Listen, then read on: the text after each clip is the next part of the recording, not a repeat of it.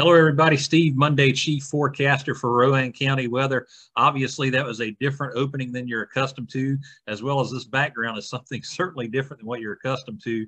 And you're probably wondering, okay, what's the deal with the snow in the opening and in the background? Well, it's time for our long range winter forecast. It's one of the most anticipated forecasts that I put out every single year. And it's time to talk about what we're going to see potentially this winter here in Rowan County.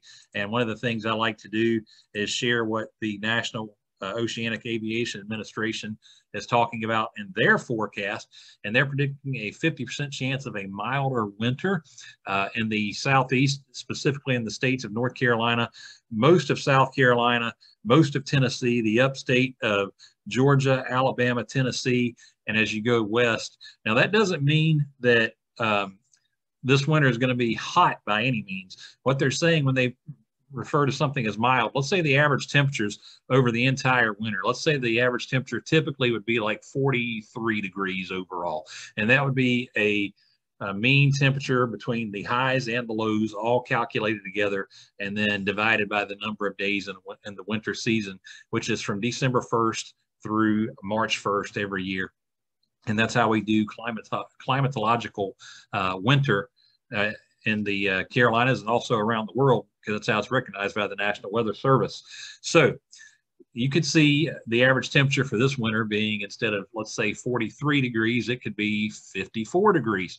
And what that would mean is, is there were a period of days over the entire winter season that temperatures were above average. Doesn't mean that we're going to have 70 degree days, 60 degree days, anything like that. Just means temperatures are going to be a little bit warmer than you would normally see during the winter.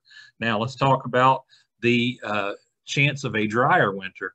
And it looks like we've got about a 30% chance of a drier than normal winter. And I agree with that assessment for Rowan County as well. Uh, again, it's all about placement of the air currents. It's all about placement of, of currents that bring in moisture to us, the position of the jet stream. And the big key factor for us on that, especially when we talk about air, is the uh, presence of either La Nina or El Nino over the winter season. And with us this season, unfortunately, La Nina has a much stronger placement than El Nino does. And we've seen that with the fact that we've had quite a few hurricanes that have made their way into the Gulf of Mexico this hurricane season. As a matter of fact, we, are going to have uh, at least 10 or 11 named storms that will uh, make landfall in the U.S. this season. And uh, you know, the majority of those have actually impacted the Gulf of Mexico. So that has a direct impact from La Nina and how the how she's got the Gulf Stream going, how she's got the jet stream going, how the different uh, water currents are going. La Nina is having a strong impact on us. Now, as you can see here, and I'm going to do some drawing here. So here's our jet stream with the La Nina placement and it kind of divides everything for us. So this blue line is the jet stream, and you can see that it's it's going to bottle up cold air up in you know Canada and in the northern part of the United States. If you head to the Pacific Northwest, it's going to be wetter there. Well, that's no big surprise, right? Tends to always be wet in Seattle anyway. Uh, you know, they get rain the majority of the year. Uh, but in the southern part of the country, you can see dry is bottled up which means that they could run the risk of seeing a, uh, a drought driven winter. And then, of course, where we are, we're kind of trapped in between warmer air and wetter air. Now, the big thing that uh, will have an impact, I believe, for us that could be if you're a snow lover, it could favor you sometimes during the winter, and uh, other times during the winter, it will not favor you at all because to get snow, you have to have cold air and you have to have moisture in place at the same time. If you have moisture in place ahead of cold air, it's going to be rain. It's just the way it is. If you have cold air in place ahead of moisture, and as the moisture starts to move in and the cold air is pulling out, that's where you run the risk of getting potentially a wintry mix and less of a chance of snow, or you run the risk of getting just a really cold rain. That cold air has to be deeply in, embedded into the area with moisture in place as well for you to be able to get snow. It's just the, the way of the beast for us here in the Carolinas.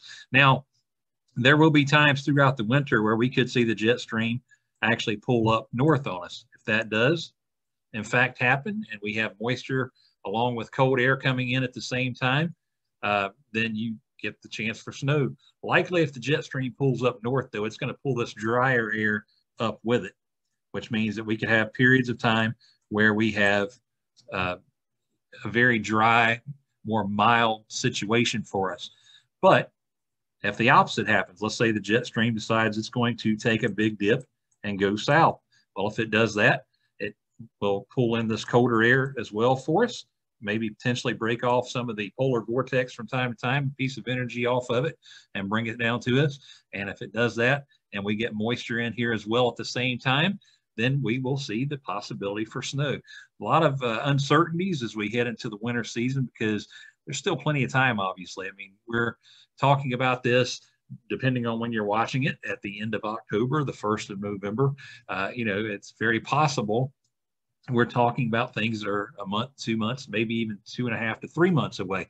So we'll have to keep an eye on as we go through the winter season. Now, with all that said, let's talk about what I think is going to happen for Rowan County with the um, upcoming long range winter forecast for us. Let me get my drawing tools off so I can actually advance to my next screen. And so let, what I do is when I start to talk about the long range winter forecast, I always go back and look at the the 35 prior winter seasons for Rowan County.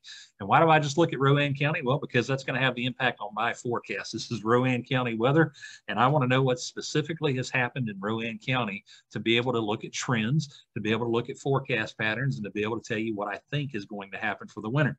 So the first thing I want to look at is the fact of snowfall accumulation. Everybody wants to know about it. It's, it's the biggest part of your winter forecast when you're putting these long range forecasts together. And over the last 35 years, the winter of 1986 and 1987 had the most snowfall accumulation with 12 inches of snowfall. The winter of 1993 to 1994 had the least snowfall accumulation with only a trace of snow of snowfall. Now, there have been periods in that time where there has been zero inches of snowfall. So it really look it comes down to, um, you know, what's going to be the setup for us this year. And if we look back at last winter, we only had a half an inch of measurable snowfall during the winter season. And if you're looking at my charts off on the right here, let me turn my drawing tools back on again for you. That is number two all time in terms of measurable snowfall for Rowan County going back to 1893. So last winter, we had a very uh, unfavorable uh, situation for us with snowfall around Rowan County. And, you know, we could see that again this year. We'll talk about that more in a moment, or we could see the opposite. What else I look for in the last 35 winter seasons around the county is I look at the um, rainfall, how much, or I'm sorry, temperature, excuse me, how much uh, was the temperature impacted over the last 35 seasons? Well, when you want to see what the coldest winter season of all time has been for us, well, at least over the last 35 years, 2009 and 2010 was the coldest winter season with an average temperature of 37.8 degrees. So that was a very cold winter season for us. And you know, it's interesting if you go and look just a few years later, 2016, 2017, that winter season was the warmest winter season over the last 35 years for us with the average temperatures of around 47.1 degrees. Now, again, remember what we're talking about there is the combination of the high temperature and the low temperature for every day from December 1st through March 1st. Then we divide that by the number of days in that period to come up with what the average temperature was. So that's the mean temperature between all the highs and all the lows in there. So that's what we look at. Now, with all that said, what are my long, long range winter predictions? Well, I think the first thing we'll talk about is the average highs. They're going to fluctuate between 40 and 60 degrees. So not going to be an overly cold winter by terms of what we could get. I mean, you know, typically when most folks think think of winter, they think that we tend to get between the 20s and the 40s for highs, or you know, the teens and 30s for lows. Uh, but lows this year, I think, are going to fluctuate between 20 and 40 degrees.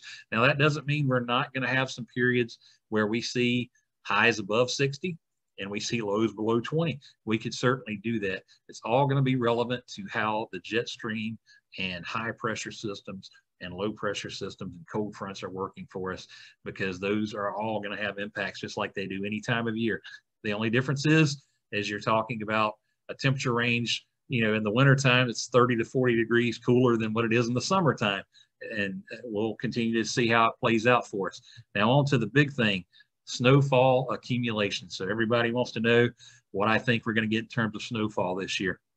When you take all the factors in for what we've looked at, first of all, over the last 35 seasons, what the trends are showing for this season, and what uh, the La Nina placement is right now. Again, there will be fluctuations. I think we will have opportunities for snow over the winter months, but the question is, is how many opportunities? I don't think we're going to see a lot of opportunities. I think we're going to see uh, maybe one or two big opportunities for us, and we just have to hope. If you're a snow lover, you have to hope that cold air is in place and moisture is in place at the same time.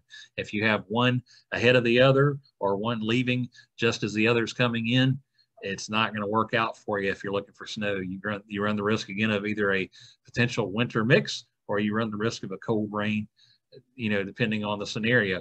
But as far as what I'm predicting, predicting for snowfall accumulation over the winter months, again, this is from December 1st through March 1st, I'm going with one to three inches of snowfall around the county in terms of what I think we'll see this winter in Rowan County. Now, again, that might not be something that, uh, you know, if you're a snow lover, you want to hear, but I think that's where we are. Uh, there's obviously plenty of time that things can change. I'm not a fan of long range forecasts. That's why on Rowan County weather, I only do five day forecast. I don't like to do seven.